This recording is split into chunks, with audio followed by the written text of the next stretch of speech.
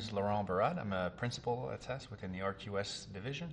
I'm the head of uh, CECL and IFRS 9 for the Americas.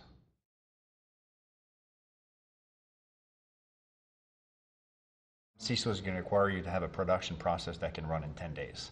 That involves uh, running quantitative models, going through a review and challenge process, uh, going through some type of you know audit review at least before the financials, and then generating regulatory reports and financials within a 10-day period. That's the process you're going to set up, right? And it's going to have internal controls for financial reporting review.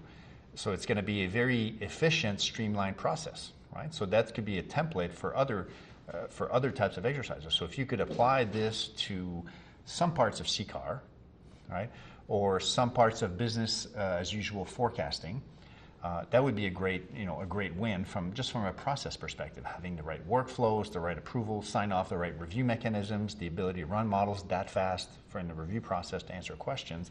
That's uh, one thing. The other is uh, imagine this is a, a real life example.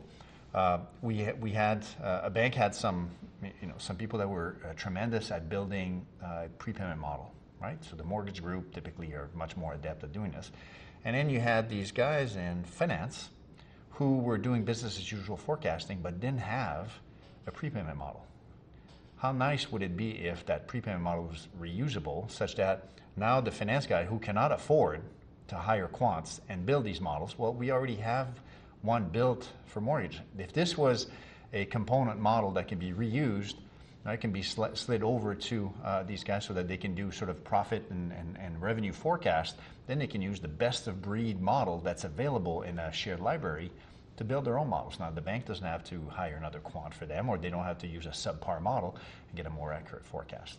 Right? So, there's two examples of how you can sort of reuse and leverage your investments if you get rewarded for creating assets that are reusable, right? Maybe your your annual reviews or your bonus structure should be put in this way. If you're if you're a modeler and you're building, you know, some type of model, uh, it's up to you to figure out, okay, what is I'm going to be doing this. They asked me to do this, but what other things could this be used for, right? So creatively, I'm the one on the ground. I'm the one doing the work.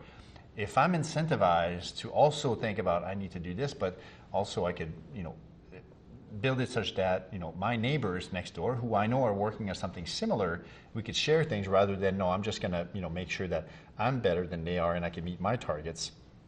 Right. So I think it's a really a, a people a people incentive uh, process that needs to be put in place. Right.